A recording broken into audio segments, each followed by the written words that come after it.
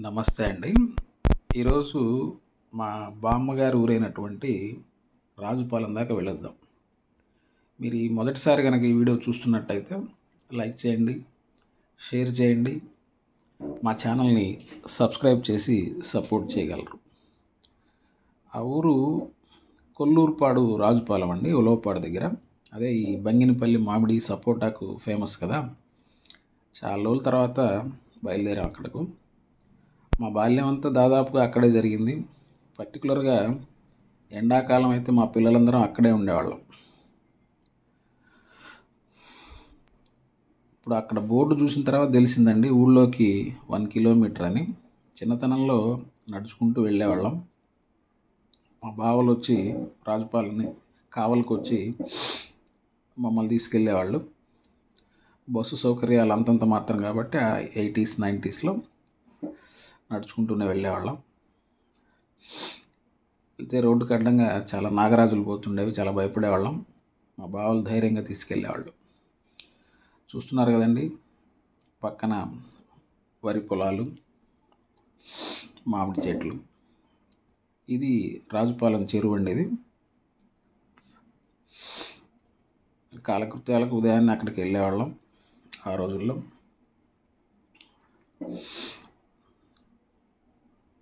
మా మేనల్లుడు కావలికి వచ్చేసిన తర్వాత ఎవరైనా ఊరి నుంచి వస్తే వాళ్ళని మొదట చెరువులోకి నీళ్ళు వచ్చాయా అని అడిగేవాళ్ళు.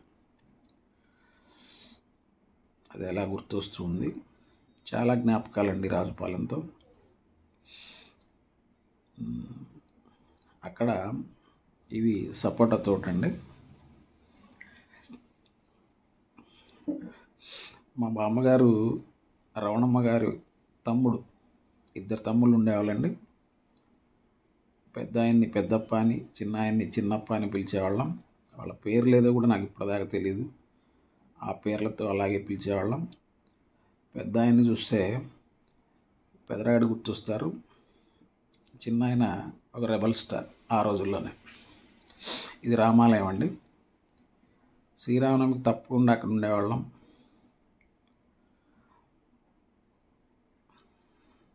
అక్కడ యాక్చువల్గా ఇవి ఇప్పుడు పల్లెలు కొత్త రంగు సంతరించుకున్నదంతా అట్లా కనపడుతున్నాయి.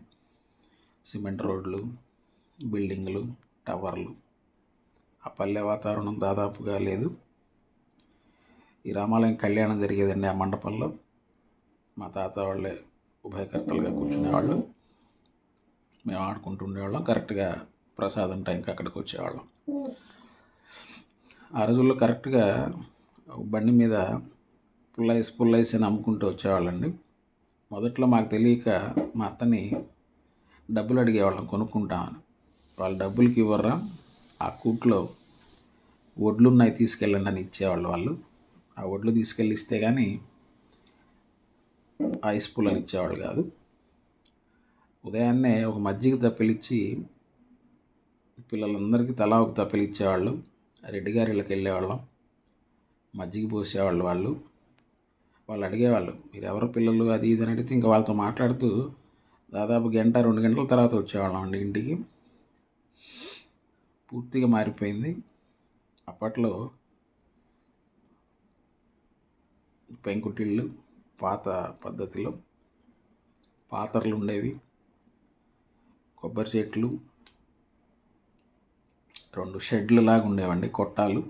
రాత్రిపూట అక్కడే వాళ్ళం హాయిగా మంచాలు వేసుకొని బయట పండుకునే రోజులు అవి. ప్రశాంతమైన వాతావరణం.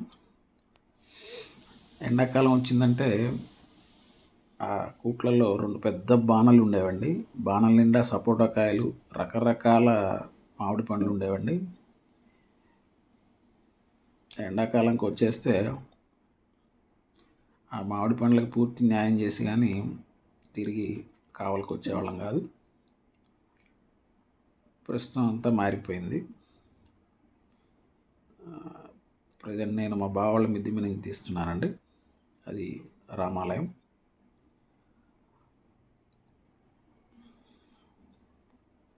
అప్పట్లో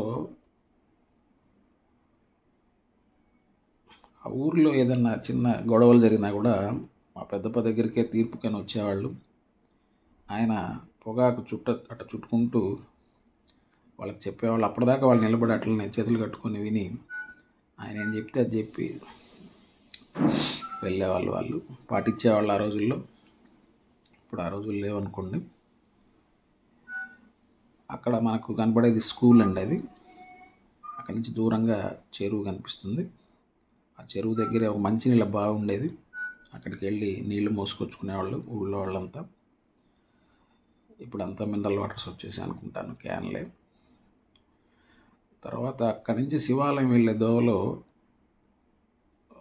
సెట్టిగా రంగలు రెండు ఉండేవండి. అవి నాకు తెలిసి అప్పట్లోనే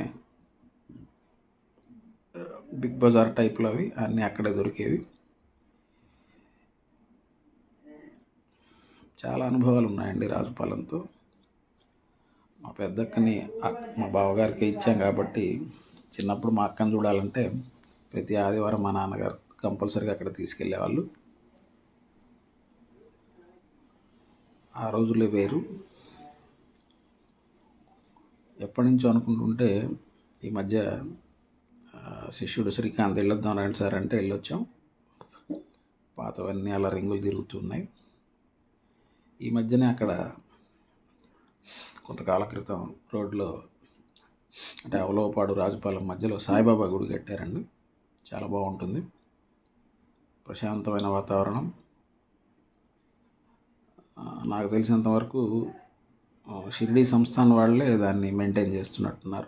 చక్కగా ఉంటుంది. కార్తీక మాసంలో వనభోజనాలకైతే ఇంకా చాలా బాగుంటుంది. ప్రశాంతమైన వాతావరణంలో షిరిడి సాయినాథుని మందిరం.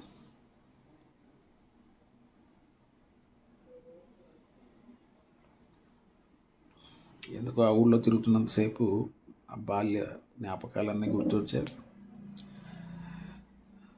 మా అన్నగారైతే చాలా కాలం అక్కడే ఉన్నారు. అక్కడ ఉండే చదువుకున్నారు ఆయన. లోపాడు హై స్కూల్కి నడిచి వెళ్ళేవాళ్ళు వీళ్ళంతా. ఆ నడిచి వెళ్తున్న సందర్భంలో ఇప్పుడంటే ఆ బైపాస్ వేశారు కాబట్టి అప్పట్లో నేరేడు చెట్లు అన్నీ ఉండేవి. సరదాగా నడుచుకుంటూ వెళ్ళేవాళ్ళు. వాళ్ళు చెప్తూ ఉండేవాళ్ళు వాటి గురించి. ఏమైనా ఆ పల్లె కనుమరుగైపోతుంది.